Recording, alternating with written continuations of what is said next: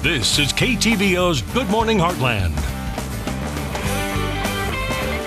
Welcome back. Some of us are lucky enough to never experience tragedy, but when you do, it can be hard to pick yourself up and move forward. Diana Heckert has been an inspiration to all and is showing her strength by turning something negative into something positive. How are you doing? I'm good. It's early, so was it hard to wake up? Yeah. Yeah, I completely understand. So tell me a little bit about, there's an event that we'll get to, but tell me a little bit about how it came about.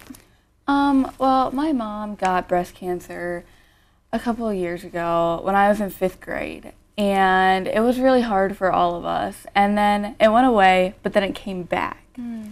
And so then it was metastasized. And that means that it had gone to other places.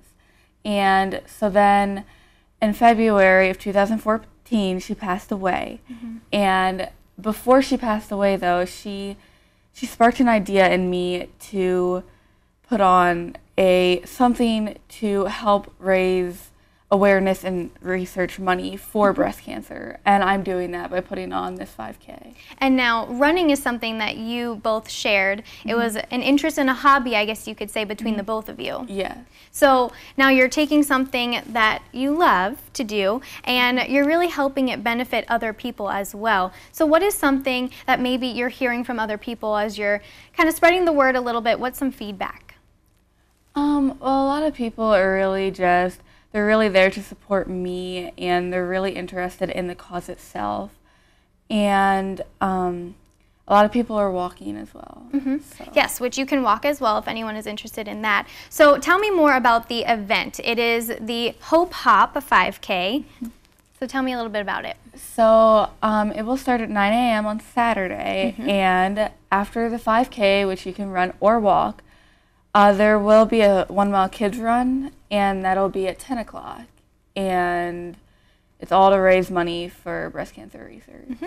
And now, as far as registration goes, is the deadline already up, or can people sign up even that morning? Uh, they can sign up even that morning. Okay. And now I know a lot goes into the organization mm-hmm. of the event. Will you be running or walking in it?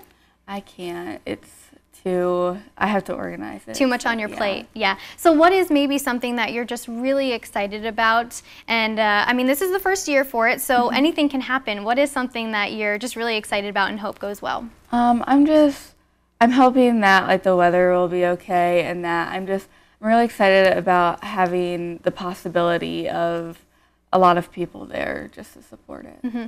Well, I do have um, some ties in with the meteorologist here, so mm-hmm. I'll see if he can get us some good weather for Saturday. Um, but now tell me a little bit, it's going to cancer research. Is there anything in particular, is it breast cancer or just cancer overall? Um, it's a particular kind called metastatic breast cancer. It's breast cancer that spreads to other places. It's the one that is probably, I think it's the most deadliest, and it it's um, it's just not very funded. And if your mom was here today, what do you think she would say to you? Um, she would be very happy that I even got this far and put on the event and, uh, and I'm raising money. Mm-hmm. It is very tough for anyone, and so I applaud you on that, and congratulations. I hope everything goes really well, and again, I'm so sorry for your loss, but we're going to put all this information on our website, heartlandconnection.com. Get out there on Saturday, regardless of the weather, because what's a, a little rain going to do, you know? Mm-hmm. So uh, get out there and enjoy it and support a good cause. We'll put all this on our website. We'll link up her information as well if you have any questions, but for now, we'll be right back.